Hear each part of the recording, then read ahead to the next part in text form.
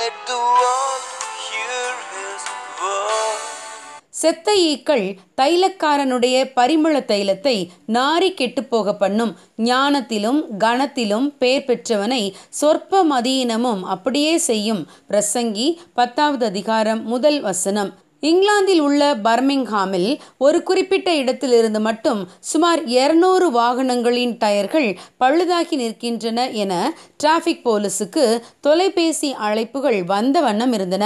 அந்த 200 வாகனங்களின் டிரைவர்களும் உதவிக்காக அழைத்து கொண்டே இருந்ததால் தொலைபேசி இணைப்புகளும் சரிவர கிடைக்கவில்லை.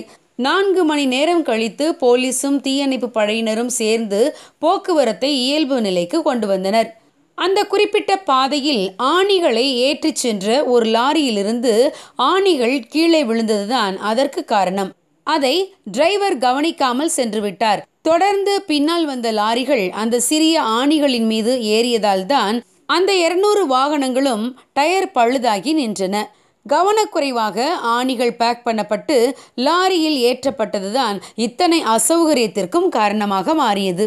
ஆம் பிரியமானவர்களே நம்முடைய வாழ்விலும் சில விஷயங்களை நாம் சாதாரணமாக நினைத்து யதார்த்தமாக செய்து விடுகிறோம். ஆனால் இந்த ஞானமற்ற செயல் பல பாதிப்புகளை ஏற்படுத்தி விடுகிறது.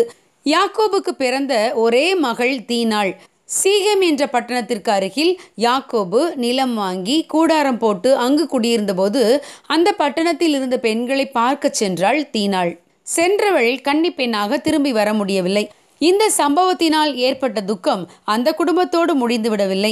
அவளுடைய சகோதரராகிய சிமியோனும் லேவியும் மனம் கொதித்து மிகவும் கோபம் கொண்டு துணிகரமாய் பட்டணத்தின் மேல் பாய்ந்து ஆண் மக்கள் யாவரையும் பட்டயத்தால் கொன்று போட்டார்கள். அந்த பட்டணத்தில் இருந்த ஸ்திரீகள் விதவைகளானார்கள். சிறு குழந்தைகள் தகப்பனை இழந்தார்கள்.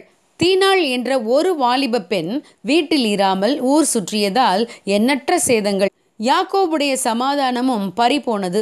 அவர் தன் குமாரர்களிடம் நான் கொஞ்ச ஜனம் உள்ளவன் கானானியரும் பெர்சியரும் எனக்கு விரோதமாய் கூட்டங்கூடி நானும் என் குடும்பமும் அழியும்படி என்னை கொன்று போடுவார்களே என்று மிகவும் பயந்தார்.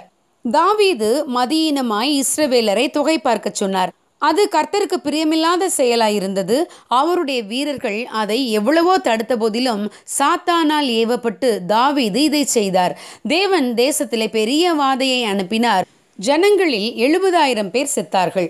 பின்பு தாவீது மனம் கசந்து ஜெபித்ததால் தேவன் வாதையை நிறுத்தினார்.